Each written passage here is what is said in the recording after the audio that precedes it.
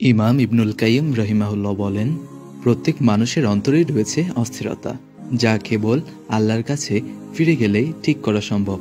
প্রত্যেক মানুষের অন্তরেই এক শূন্যতা রয়েছে, যেটা কেবল আল্লাহর কাছে ফিরে গেলেই দূর করা সম্ভব। প্রত্যেক মানুষের অন্তরেই রয়েছে ভয় আর উৎকণ্ঠা, যা কেবল আল্লাহর কাছে আশ্রয় নিলেই দূর করা সম্ভব। আর প্রত্যেক মানুষের অন্তরেই রয়েছে হতাশা যা কেবল আল্লাহর উপরে সন্তুষ্টি হলেই দূর করা সম্ভব।